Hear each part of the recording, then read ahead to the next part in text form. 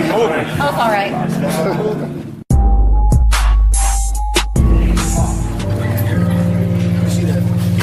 Y'all live on Facebook. Say what's up real quick, What's man. going on? What's going on, Dante, Dante Nation uh, fans? Bo Mac. Bo Mac, Terence Crawford training right here. Watching Dante's Boxing Nation. Y'all Hey, see it. Y'all, question, y'all I hear it. Y'all hear it.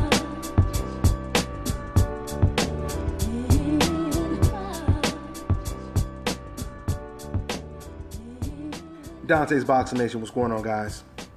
Well, I'll tell you right now, the heavyweight division is really, really heating up. And I truly believe by the end of 2017, we will unequivocally know who is uh, the undisputed best heavyweight in the world. And possibly who is pound for pound top 10 or maybe even top 5, the best fighter in the world when it comes to these heavyweights.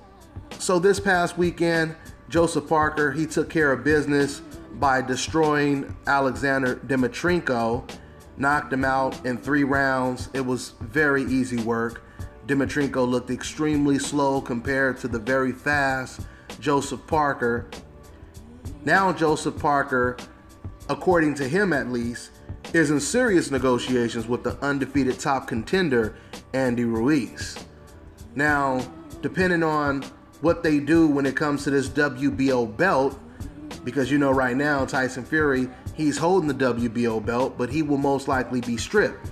And when he does get stripped, Joseph Parker and Andy Ruiz, they will fight for that vacant belt. Now, Joseph Parker, he has a lot of options because he's the number one contender for Anthony Joshua's belt, the IBF title, and he's also the number one contender when it comes to the WBO belt. Now, since Anthony Joshua is in serious negotiations with Vladimir Klitschko, it would make more sense and it would seem that Joseph Parker would prefer to just go ahead and fight Andy Ruiz for the WBO strap. You get that belt around your waist, and then you could have even a bigger fight against the winner of Joshua versus Vladimir Klitschko, what would be a unification bout. I think that's what's most likely going to happen. But you know, when it comes to Andy Ruiz, I don't really have a lot of confidence in him until I see a signed deal. Because when it comes to Andy Ruiz, he's been really reluctant to step up in competition. Andy Ruiz, for those of you guys who don't know, he turned down um, a Luis King Kong Ortiz fight. He was negotiating with Hughie Fury, and he just recently pulled out of that fight.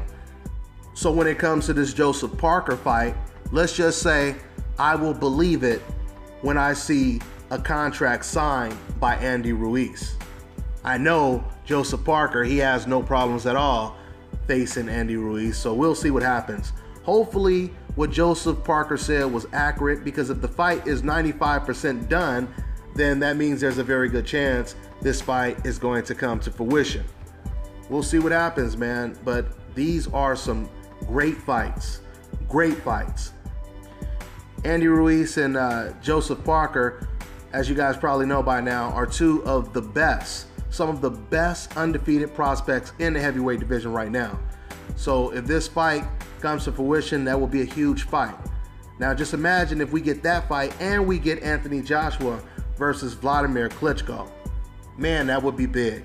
That would be big for the sport of boxing and definitely for the heavyweight division. So we'll see what happens. We'll definitely see what happens.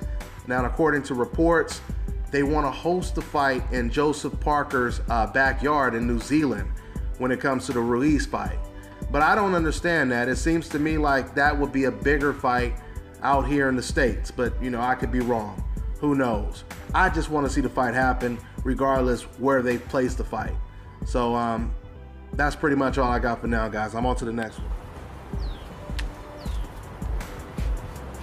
This is Bobby, and you're watching Dante's Boxing Nation. Love that.